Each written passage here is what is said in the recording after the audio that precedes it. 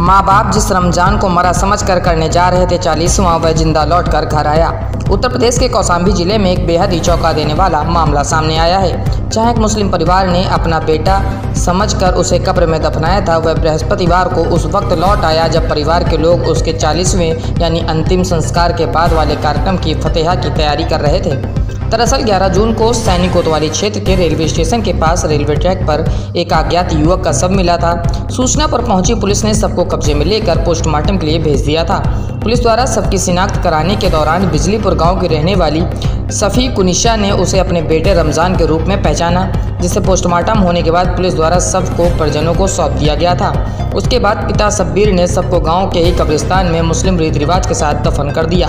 वहीं दूसरी तरफ़, जिस सबको रमज़ान समझकर सब्बीर ने दफना दिया था, एक माह बाद फतेहपुर जनपद में रहने वाले संतराज ने कोतवाली पहुंचकर उसे अपने बेटे सूरज का शव होने का दावा कर दिया। जिसे संज्ञान में लेते हुए जिलाधिकारी सुजीत कुमार ने सबको कब्र से निकालकर डीएनए टेस्ट कराने के आदेश दिए थे। डीएम के आदेश के बाद 3 जुलाई को दोनों परिवारों की मौजूदगी में कब्र से सबको निकालकर डीएनए के लिए सैंपल एकत्र कर लैब भिजवाया गया। लेकिन डीएनए रिपोर्ट आने से पहले ही रमज़ान के सकुशल घर वापस आने से जहाँ घर वालों में खुशी का माहौल है तो वहीं दूसरी तरफ़ बेटे की गुमशुदगी को लेकर संतराज को डीएनए रिपोर्ट का बेसब्री से इंतज़ार है। फ़िलहाल तो डीएनए रिपोर्ट आने के बाद ही पता चल पाएगा कि कब्र में दफन सब सूरज का है या नहीं? उत्तर प्रदेश कौसाम्बी से कुलदीप द्विवेदी की खास रिपोर्ट। घर बैठे रहते थे घर वाले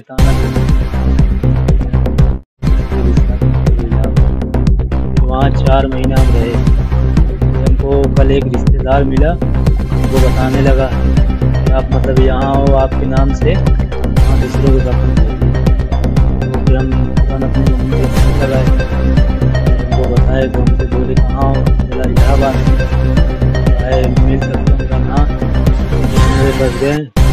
तो लेके आए